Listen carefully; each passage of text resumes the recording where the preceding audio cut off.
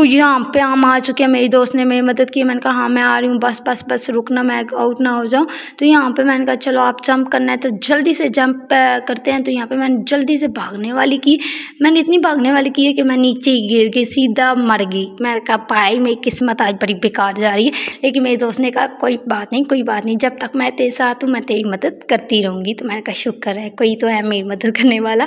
तो यहाँ पर टीम वर्क में बड़ी मुश्किल होती है, बहुत ज़्यादा मुश्किल। अगर आप एंड पे भी चले गए हो ना यार, आपका एक दोस्त बिलीव कर जाता है वहाँ के वहाँ आप तो मैंने कहा, चल दोस्त, आ और वो नीचे गिर गई। तो मैंने कहा, चल, कोई बात नहीं, कोई बात नहीं, चल वापस से आ और फिर से प्ले कर। तो उसने कहा हाँ हाँ मैं आ रही हूँ, सब्र कर सब्र कर। मैंने कहा, यार, सब्र ही कर रही हूँ, जल्दी से आ।